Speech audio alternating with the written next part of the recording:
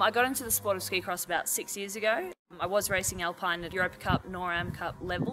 Basically, ski cross caught my eye. I saw um, a couple of other girls doing it, and it just it looked like a lot of fun. It looked amazing. It was you know four girls down the track at one time, big jumps, rollers. It just it was kind of like next level. You know, you you go from alpine racing by yourself against the clock to racing against three other girls, and it's just it was really exciting.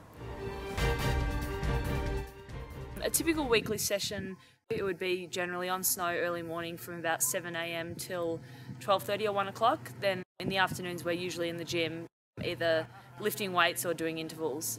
I guess for me to be an Olympian is something that I'm very proud of and something that I've dreamed of since I was three years old and I was first put on skis by my dad up at Mount Buller. So it's something that I'm very proud to have achieved. I can't wait till the next ones.